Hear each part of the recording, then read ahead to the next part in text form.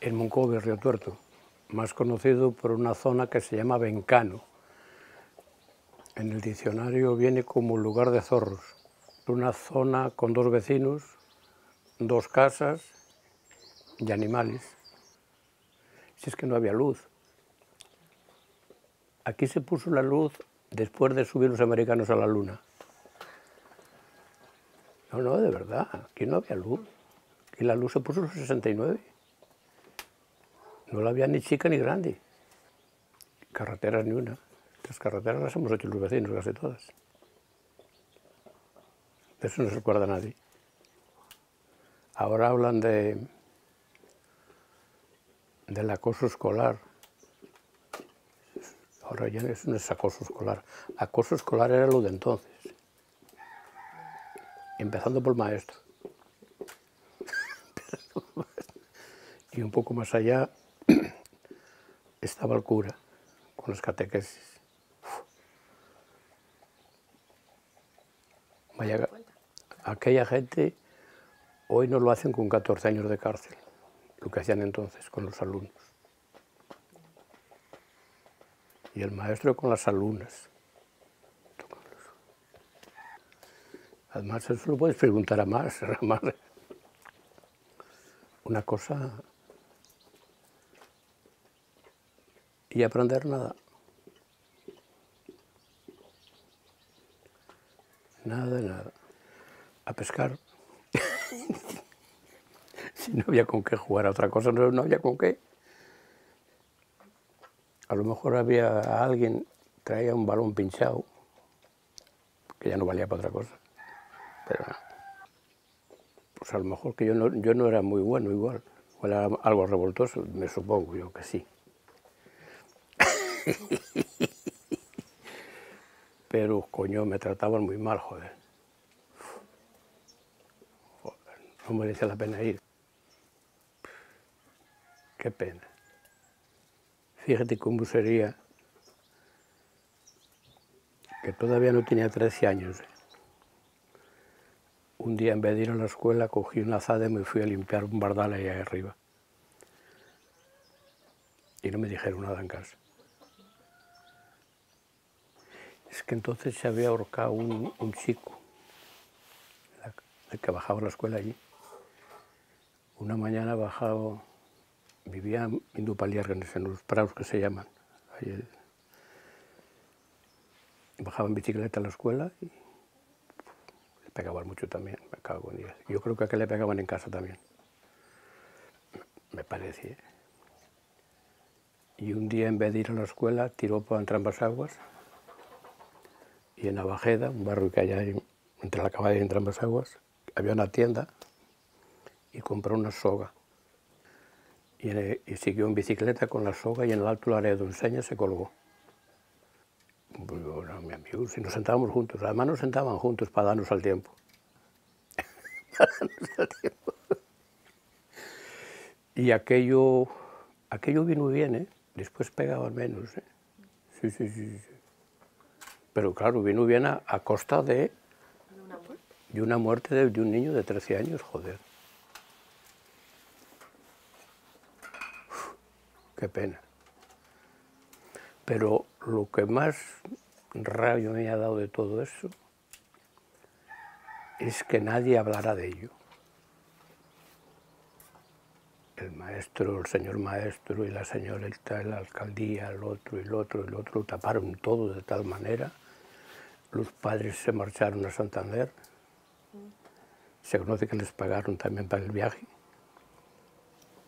El año 64 fue la Olimpiada de, puede ser, la Olimpiada de, de, de, de, Japón, de Tokio. Y había una televisión ahí abajo. Una televisión que, y me dejaba verla siempre que bajaba el hombre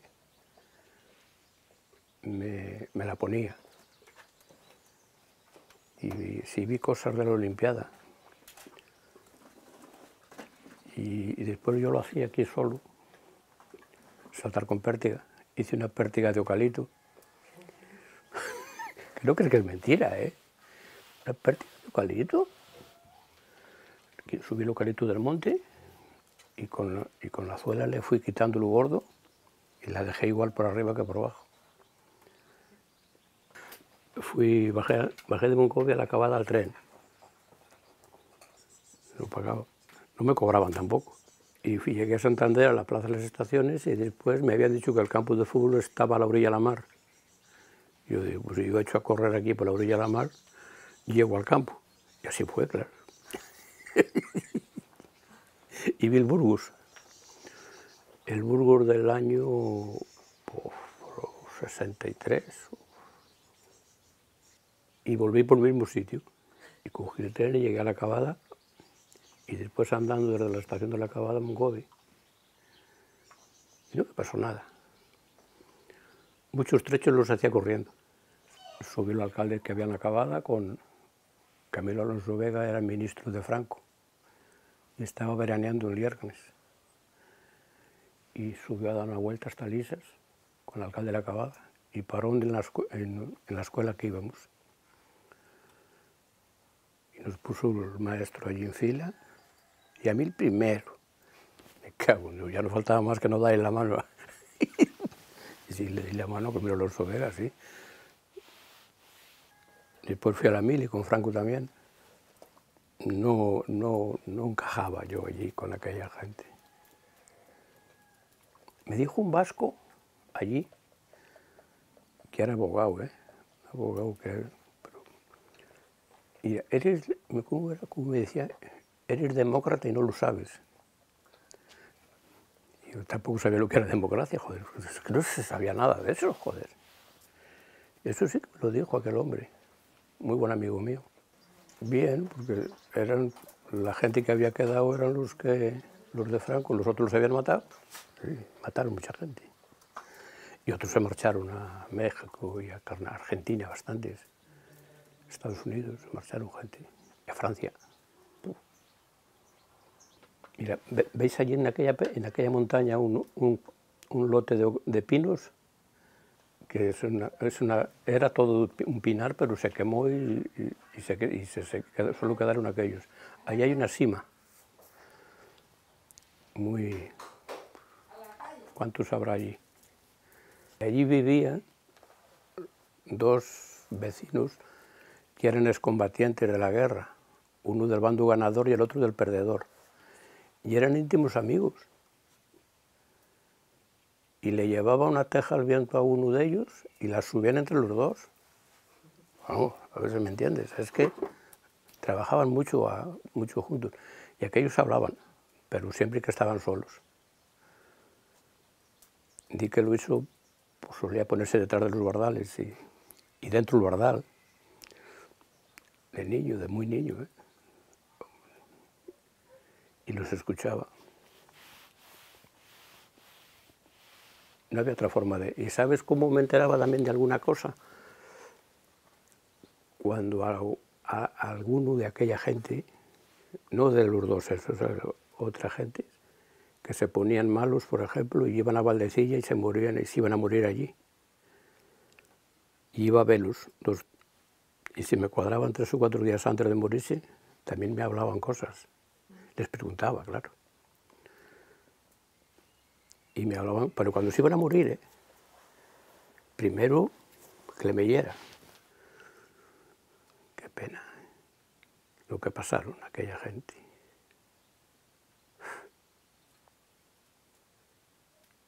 Eso no es, eso no hay derecho.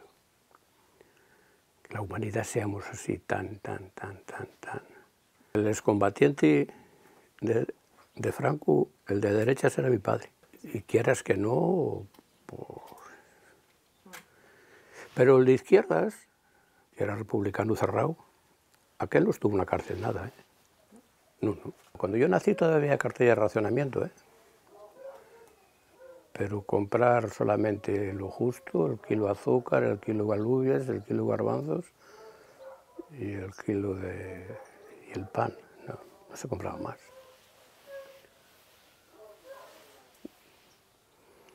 Yo el primer pastel que comí, le comí en Mercado de Solares, porque al lado de donde se ponía mi madre con sus quesos y sus huevos y gallinas, había una mujer que tenía también un puesto y tenía pasteles, entre otras cosas. Calculo que aquella mujer tendría condones entonces, me cago en la madre, porque era una vendedora.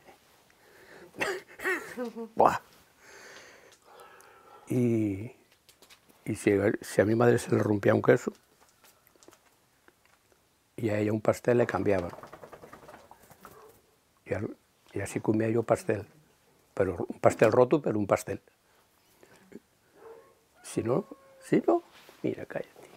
Hombre, la verdad es que hambre no se pasaba, ¿eh? Además sembraban, sembraban. Gente en mi casa sembraba albuyas y pata, un patatal como... Bueno.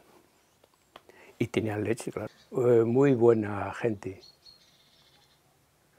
Pero claro, había muy pocos, ¿eh? Había uno en, en Odianero, otro en otro lado, otro... Pero muy buena gente. Tenían para mí un problema, que eran antisistemas. Pero, pero cuidado con matar y con hacer cosas de esas. Eso, eso era, estaba sagrado. Y, y, más cosas buenas, tenían cosas muy buenas, no, pero lo otro, lo de antisistemas, yo no lo entendí muy bien, porque hay que estar en el sistema, hay que estar, aunque no te guste. Como yo digo, hay que pagar la seguridad social aunque no te guste. Y ellos Todavía por ahí algunos que conozco de aquellos. Conozco gente de aquella, sí.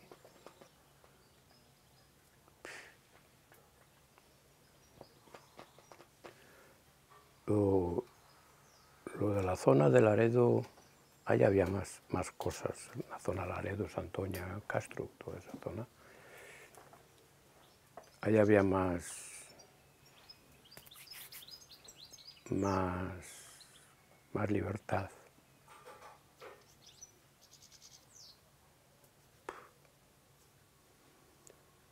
Aquí había menos. Dije, bueno, por los cuatro que éramos así, pues también se nos veía.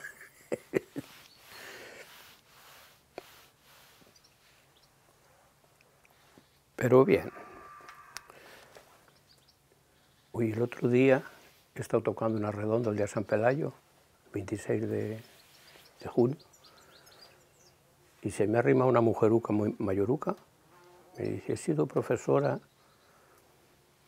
en, en el Jesús del Monasterio, de piano.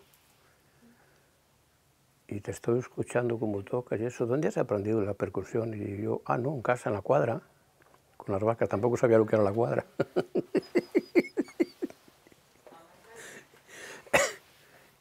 ¿no has estudiado? No. Yo he tocado, yo voy a tocar a un tío mío que tenía, tenía un tambor, que ahí le tengo. Y, y después yo tocaba lo que él tocaba. Y después con el paso de los años, fue una película que yo, era para verlo grabado, pero bueno. Íbamos a cenar los viernes dos o tres ganaderos de por aquí. Y, tomamos en la Vicinia, en el barrio sí que hay solares, ahí donde, donde, los tases, y tomamos ahí la última copa para casa. Es once, once y media. Y una noche había allí una familia asturiana que envolvían de Bilbao de una boda familiar y habían parado allí y tenían encima de la mesa las, todas las gaitas, lo otro, lo otro, el bombo las, y, y, y, un tambor. Y yo dije, tomando un chupito ahí en la barra, y dije, pues si yo cojo ese tambor y empiezo a tocar una jota, ¿qué podría pasar? ¿Qué me van a hacer esto a mí? Nada. Sin decir nada, le pongo apoyado en la mesa. Y, pero en vez de reñirme, uno de ellos salió de donde estaba, del corro que estaba, y cogió una gaita y empezó a tocar una gaita.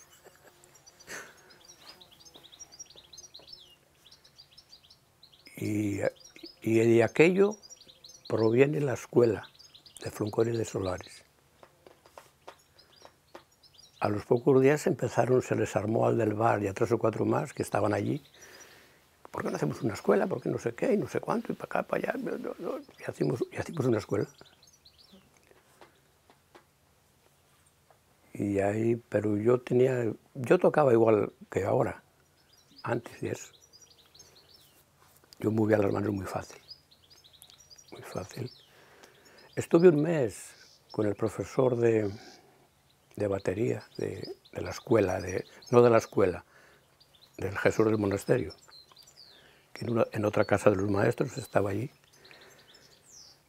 Uno que toca en una batu, bat, batuca, el primer festival que hacemos en Hermosa,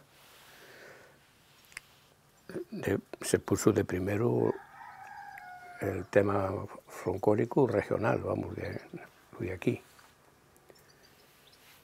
Y yo y subí a tocar con él, y una mujer, casada, por cierto, que era panderetera, mala, pero panderetera. Subimos los tres. Y, y yo, para mí aquello era... Salió toda la gente del bar a Venus. y bajando por la escalera del temblete, me dice Tomás, el, el gaitero, Luiso, me dio así por detrás, esto no me lo vuelvas a hacer más. bueno, es que nerviosismo, qué cosa, oye. Y sin embargo yo estaba como si, como si estaría aquí. De verdad, ¿eh? Sí, los primeros conciertos estaba bien. Siempre había algún gaitero por ahí que tocaba bastante bien, piteros. Y después, claro, después se fue juntando gente, empezamos a hacer un festival en bromas. Y hacíamos un festival. Y después también hacíamos una romería cántabra a la antigua usanza, desde las 9 de la mañana hasta las, 5, hasta las 7 de la tarde, fiesta en un prado, que no había luz, vamos, no había sonido. Tocando, tocando allí, unos ahora, otros luego, otros después, sin, sin temblete ni nada, ¿eh? en el prado. Y el que quisiera bailar, bailaba, y el que no, y una comida de patatas. En, aquella época no había otra cosa más que patatas.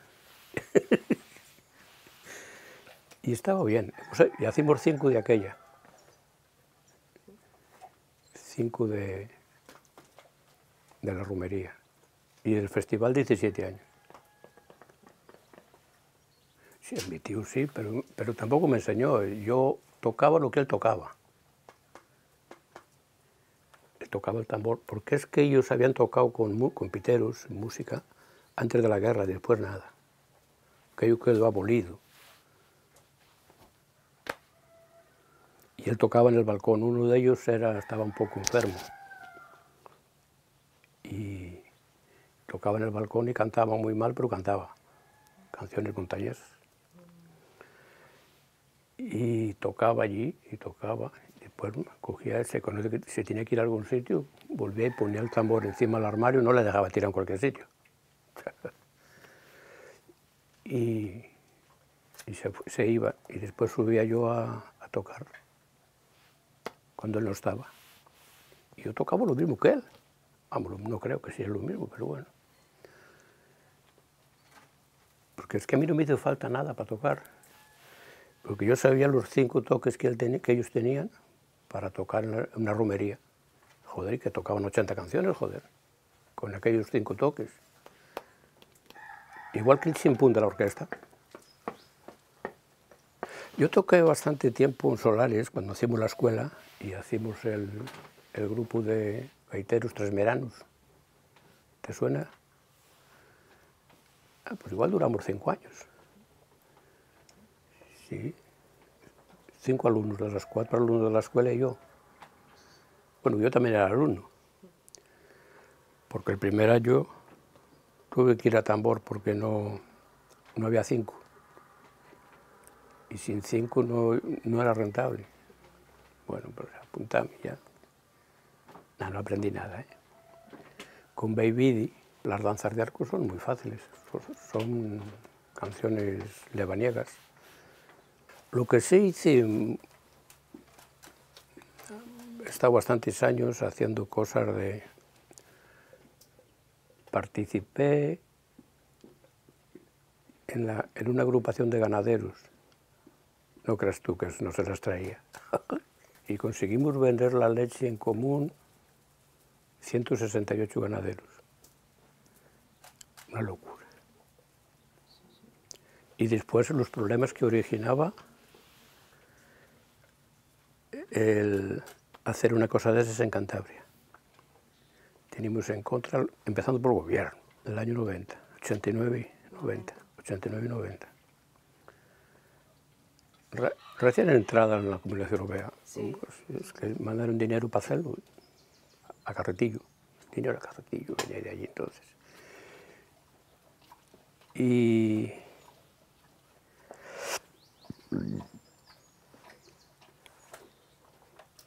pues aquello fue una locura, y además en contra de todo el mundo, las empresas sobre todo. Fuimos a todas las empresas de Cantabria para venderles la leche y no nos lo quisieron comprar para que se deshaciera el grupo y se lo vendimos a las cooperativas rogascas. Y, y claro, siete pesetas más. Tiro va y tiro viene. Eso para la economía regional fue... Y, ahí, estaba yo sacando pecho, joder. ¿168 de qué zonas os juntasteis? Pues desde, desde Sarón, desde Eslis, por ejemplo, hasta Solórzano. Toda esta zona, toda esta franja de, de Orejo para acá, ¿eh? La costa no. Ahí había otro grupo ya que se había hecho y aquel como le hicieron los ricos, eh, no le dijeron nada. Pero aquello fue... Buah. Y a los dos o tres meses de venderle la leche a los del País Vasco, en una reunión que tuvimos, nos, nos ofrecieron una peseta el litro a cada uno, a cada ganadero, para hacer una comida y una fiesta una vez al año. Claro, para mí aquello era media vida, ¿qué quieres que te diga? Pero tenemos que centralizar la paga de la leche de, los ganaderos en un banco, en el que se iría. Y no, y no hubo forma de hacerlo ningún banco no lo quiso coger. Y un día, después de una comida, por cierto, una comida bien regada, fuimos a la delegación del gobierno. Fuimos tres. Y el, entonces era el delegado del gobierno, era uno que escribe en el diario ahora. Cosas de ganadería. ¿eh? Era... Y ese habló y Caja Cantabria no, no lo cogió. Pero Caja Cantabria porque no era Liberval, ¿eh? que era caja, la caja de toda la vida. De... Y, sí, sí, lo conseguimos hacer, gracias a él. Qué pena. ¿Por qué, será, ¿Por qué seremos, tendremos tan mala idea? Pero es que era bueno para, los ganaderos, para las empresas malo. Vamos, regular, malo no. Pero para los ganaderos era muy bueno, que era mucho más dinero. Y no estaba la gente por ello, y no estaba, y algunos se murió sin estar. Qué pena, ¿eh? Después en... Después también, bueno, pues interviene la, en la Asociación de Hermosa, que hacemos una asociación ahí de manos a boca. Todos en contra también, ¿eh? mucha gente en contra, empezando por, por los políticos. Los políticos no querían eso, tienen narices, ¿eh? ¿Por qué? Y la Asociación de Hermosa, al poco tiempo, ya empezamos a hacer un, un festival. Y una pila de gente en la bolera, no cogían. Claro, fueron los años buenos, ¿eh? Dinero, qué dinero.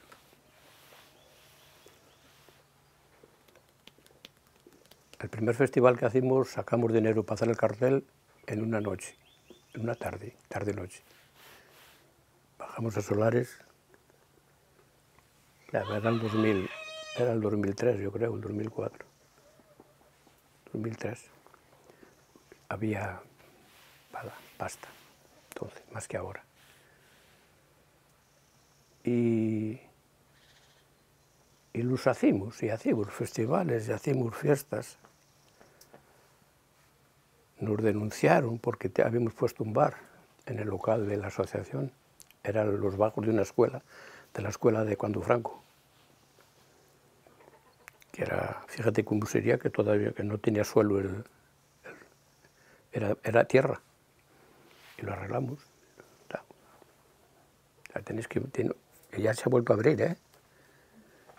Yo creo que aquí venimos de una... Cuando los reyes católicos echaron a los judíos de España, eso fue en el, 1600, ¿no? O igual antes del 1600. Y los, que, los listos que había en aquella época debían de ser solo judíos, los demás debían ser los bobos. Pero es que no, les decías, por ejemplo, vamos a apuntarnos al, libro genealógico, porque había una asociación de libro genealógico, que te miraban las vacas y las calificaban por morfología y después por, venían todos los meses a ordeñarla, a llevar muestras de los litros que daba y la grasa que daba. Y eso era bueno para la ganadería, para, para, para mejorar. Y después a una vaca de esas que, era, que tenía, por ejemplo, 78 puntos o 83, mucho más, ¿no? Pues le echabas un toro que tendría las, que la mejorara. Por ejemplo, si aquella vaca no era buena de, patas y el toro era bueno de patas, pues le echabas ese toro para que si nacía una jata, criara para mejorar el... Pues, ay, madre, qué cosas hacía la gente. Yo me apunté con un grupo que había, no de anero. Por aquí no había nadie.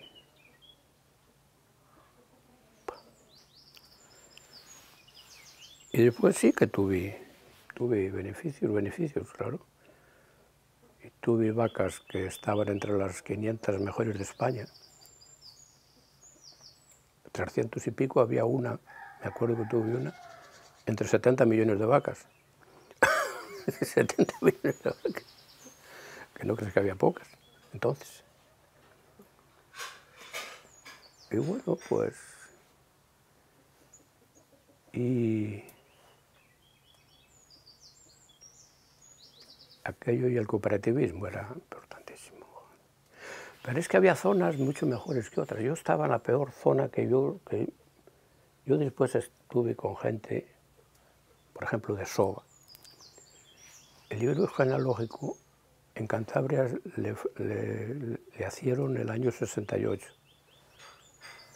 Y de Soba, bajo el cura, todos los ganaderos que le cogieron en coche,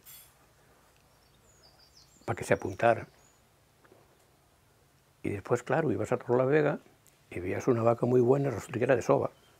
Ibas un poco más allá y había una vaca muy buena y era de allí, porque habían, porque habían estado en el libro genealógico desde que se fundó. Y aquí no. Aquí no, no había forma. Cuando compré la primera ordeñadora, fui un día a Santander y había aparcado allí en las estaciones, que las estaciones no están como ahora, ¿eh? Entonces, aquello lo he conocido yo en Pedrago, todo, toda la plaza, desde el tren hasta la ferretería montañesa. Y, pasando por un escaparate vi y, una, olla, tal, y, entré a preguntar. Y me di tal, pregunté tal, esto, Cuba, mira esto. ¿Cómo tienes la cuadra? Me preguntó el hombre, muy, muy, muy, muy bien. Y tal, mire, pues esto, lo que mejor te viene es un carrito con un asa y ahí llevas el aire, la presión del aire y la olla, y la olla para echarla, que, que, la leche que caería allí. Y las pezoneras colgadas de un chisme, no, muy bien, que se la ponías y el, y el carrito detrás. Joder, a mí aquello me pareció una cosa... Y se la compré. Se la compré y la traje. Y entonces cambiamos, cada, tres, cada dos o tres meses cambiamos de aquí a Moncovi. Llevamos las vacas y andando. Y, y llevaba la máquina. Y se murió un vecino allí. Y en el velatorio del vecino, que se hacían en casa entonces, y la mayoría de la gente en la cuadra tomando café y coñac. Pedro no, no, tomó nada. Pedro era el muerto. y, y, allí salió a relucir la de la máquina mía. Me cago en San Pedro como me pusieron los vecinos. De inválido, claro. Si había comprado aquello era porque no valía para nada. La verdad es que razón no le faltaba, pero... pero, pero yo ordeñaba las vacas, joder. Y cuando yo bajaba por Callejo, hasta la escuela, salía un hombre, un vecino de ahí, con el de allí, los martillos, y le posó en el campizo donde le picaba y, y, algo se le había olvidado que volvió a casa. Y cuando él volvió de casa ya estaba yo picándose. No me dijo nada, ¿eh? No, no, me dijo, estuvo mirando como le piqué, le piqué bien. Por cierto, que le picaba bien y de aquello para acá que el hombre... Pero era el único, ¿eh? Era el único, el único, el único. Los demás, aquí en casa, los de mis padres no me dejaban picarle, porque me cortaba. Dios. Es que... La verdad es que, pues se impone el DAI allí, pero, joder, pues tienes cuidado, pues nunca se mató ninguno con el DAI, joder. Y, y aquel hombre del que le piqué el dalle, después me pone a la televisión para ver cosas. Yo vi jugar en, a las 5 de la mañana, vi un partido de tenis de Manolo Santana y Roger Emerson en, en, Australia, Copa Davis. De aquella época se jugaba en Australia y era aquí las 5 de la mañana y bajaba y me la ponía a las 5 de la mañana. Manuel Abascal, qué buena persona era. Ahora, nunca le hice mal, ¿eh? Nunca le hice daño de nada, de nada, de nada. Tenía unas vacas buenísimas. Tenía, era un fenómeno en ganadería. Yo pregonaba que si no se, en vez de ir a segar al prado y llevar el verde en el cuébano, porque otra cosa no había, pues ¿y por qué no llevamos las vacas allí para que, y lo, que lo coman allí, que lo lleven ellas? Ay. Pero si es que resulta que tenía razón yo, joder. qué pena, qué pena. Con el tema de la música, llegaba hasta Lisboa, Edimburgo, Escocia, Polonia, Alemania, Francia parte de, por dos o tres veces. Conozco París, joder. Toqué el tambor en París una noche, en, en Disney. Disney está en París, ¿no? Sí. En el barrio de Disney hay, es como el oeste americano.